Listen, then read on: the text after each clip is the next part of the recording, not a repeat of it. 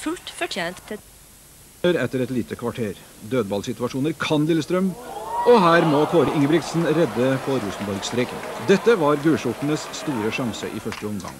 For gjestene la opp til forsvarskamp med både sju og åtte mann i egen mur. Dette ga heimelaget arbeidsrom på midtbanen, men RBK hadde store vansker med å trenge igjennom. Etter 35 minutter LSK-keeper Svein Ystnes mister et eh, skruskudd. Sverre Brandhaug skårer på returen, men dommer Lars Kåre Rogne fra Brattvåg annullerer. 9000 på tribunen og 11 på banen skjønner ikke hvorfor, og det blir ampert på Lerkendal. Snart etter sidebytte Ola By Riise kaster til Ørjan Berg. Videre til Emil Jacobsen, som kjemper med Tom Buer, og så Kasim Rasimos. Publikum forlanger straffespark, og får det.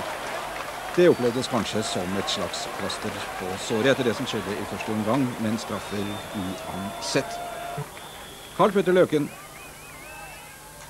1-0. Etter skåringa trekker Lillestrøm noe mer fram på banen, i håp om å få med seg ett poeng fra Lerkendal. Banen på høyre side et langt framspill som Stein Amundsen blir akkurat for sein til å få gjort noe med. Med noe tynnere forsvarsmur hos Lillestrøm gis vertskapet litt bedre albuerom. Midtveis i omgangen Ørjan Berg, Sverre Brandhaug, fram til Jan Ivar Mini Jacobsen. En situasjon han trives godt med. Spiller vegg med Karl Petter Løken og tror nok at dette skal bli grei kost å få i mål. Men Tom Buer rydder opp. Det ser litt skummelt ut, men den gode Buer får da ballen i sikkerhet. Like etterpå innkast Gøran Sørloth til Knut Torbjørn Eggen. Og eh, Trond Solli går opp og header. Og hva som skjer her, det skal vi ikke kan forklare, men sommel og rot er det i hvert fall i, eh, i Lillestrøms forsvar, og stillingen er 2-0.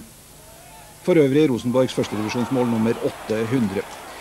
Eh, Mini spilt fri igjen på venstre side. Runder Tom Buer skyter 3-0, og det var det.